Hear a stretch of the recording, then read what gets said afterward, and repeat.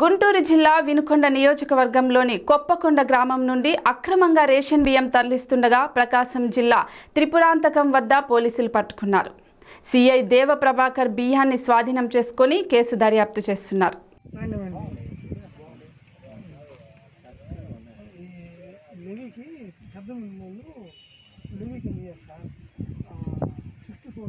రూపాయలు.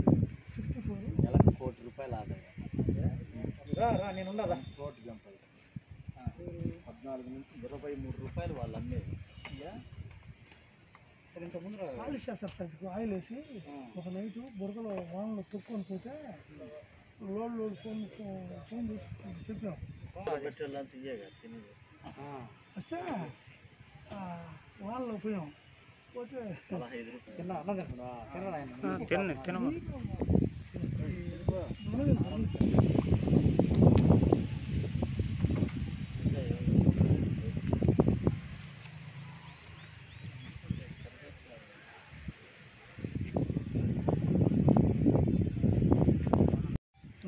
మొత్తం సార్ లేదు లేదు సార్ ఇదంతా సార్